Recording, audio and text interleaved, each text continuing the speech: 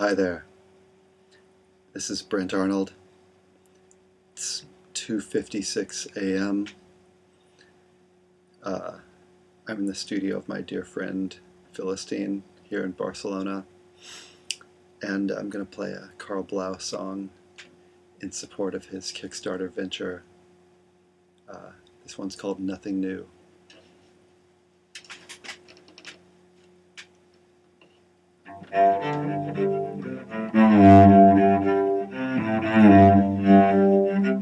Thank